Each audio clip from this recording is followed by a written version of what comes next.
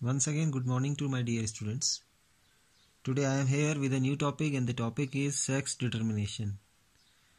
Okay, bacho, I want to tell you that uh, the mechanism of sex determination has always been a puzzle for various scientists or geneticists. Actually, the the scientists as well as the geneticists were uh, very much eager about they have very much eager about to know that uh, how the sex can be determined before the birth of the child. So i am going to uh, explain the concept uh, how they were able to know about uh, the concept of sex determination. Actually i want to tell you that what is sex determination? Sex determination means the identification of the sex before the birth of the child. And uh, i have prepared some short notes. With the help of them i want to discuss the topic and I will tell you that uh, what were the various attempts and how the scientists were able to determine the sex of an individual. Okay, the initial clue about the genetical as well as the chromosomal mechanism of sex determination came in the existence with the help of some experiments on insects. So initially the experiments were carried out uh, in various insects and uh, there was a scientist and the name of the scientist was Hanking actually in the it is the concept of eighteen ninety one तो Henking क्या कर रहे थे? Henking ने Henking made a series of experiments on insects and while he was observing और he was studying the cell division concept और the concept of spermatogenesis at the meantime Henking trace the specific nuclear structure all through the spermatogenesis in a few insects ठीक है? तो कहने का मतलब ये है कि हैंकिंग जब इंसेक्ट्स के ऊपर यानी सेल डिवीज़न कौन सा वाला सेल डिवीज़न जब स्पर्मेटोजेनेसिस होता है उसकी स्टडी कर रहे थे then at that particular time he found out he find out some special structures in some of the sperms of the insects now what was it I am going to tell you that he observe that 50% of the sperm receive some specific nuclear structure after spermatogenesis. However, 50% sperm did not receive it. तो कहने का मतलब क्या जब spermatogenesis होता है तो यानी spermatogenesis is the process in which the sperm production takes place I mean to say that it's a kind of cell division और it's a kind of meiosis after which the spermatids और sperms are produced ठीक है?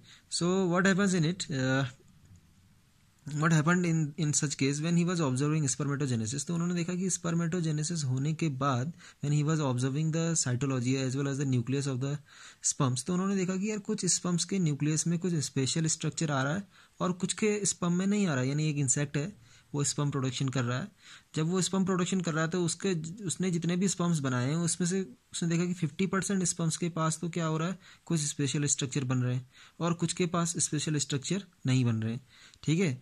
Now Henking gave a name to this structure as the X body तो Henking ने कहा कि यार, ये जो स्पेशल स्ट्रक्चर कुछ स्पम्स में बन रहा है और कुछ में नहीं बन रहा है।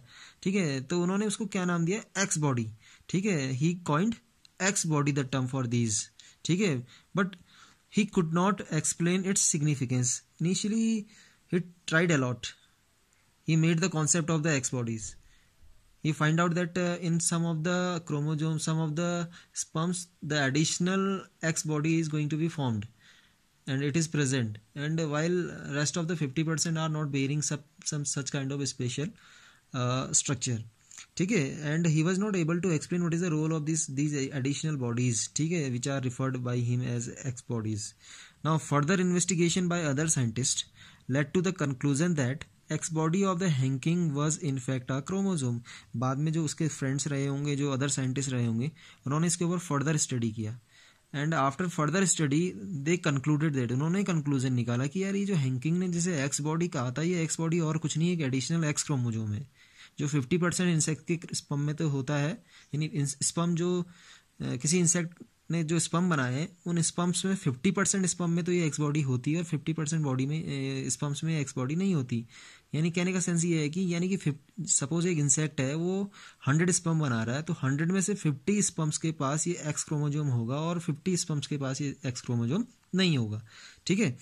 And finally it was concluded that the additional X body was nothing else it was only X chromosome ठीक है?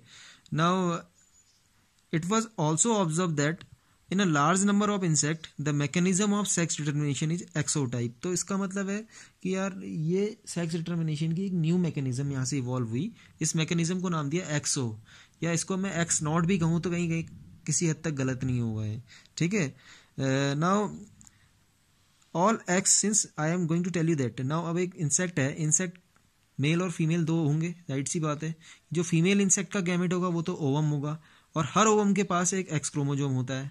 Besides it besides it's what the male insects which are producing sperm half of the sperm has this X body and half of the sperm do not have such kind of X body यानी कहने का मतलब है कि यानी कि जो gamete female से बनेगा तो फीमेल से कौन सा गैमेट बनेगा? एग बनेगा।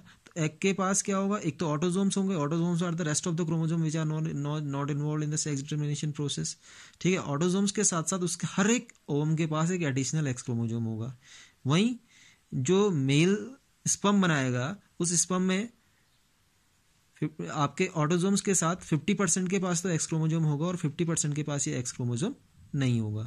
Getting my point okay now what was the rest of the discoveries I am going to tell you okay now on the other hand some sperm bear the X chromosome where as some do not यानी कि कुछ sperms जो होते हैं, उनके पास तो X chromosome होता है और बाकियों के पास ये एक्स क्रोमोजोम नहीं होता है।